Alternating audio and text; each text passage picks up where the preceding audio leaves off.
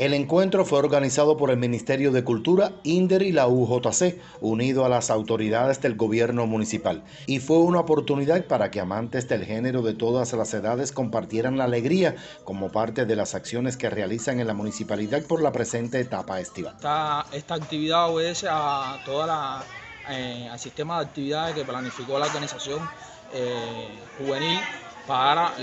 los jóvenes, para el pueblo en general y estar haciendo cosas diferentes, que es lo que quiere eh, la máxima dirección del país y lo que quiere eh, también eh, nosotros, la juventud, y que hemos estado abogando todo este tiempo por estar haciendo cosas diferentes, no solamente con la juventud, sino también con el pueblo, estar interactuando todos los factores aquí de la comunidad y, que, y esta actividad sí salió bien, se cumplió el objetivo, que era hacer una rueda de casino con todos, e incluso niños pequeños vinieron y estuvieron participando en esta rueda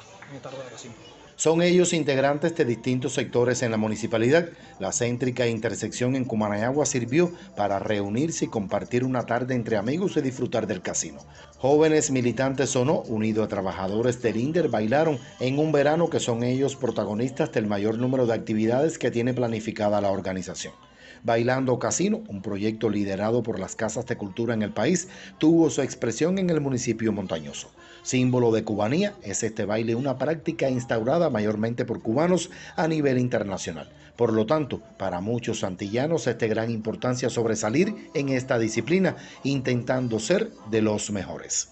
Guillermo Martínez López, Notisur.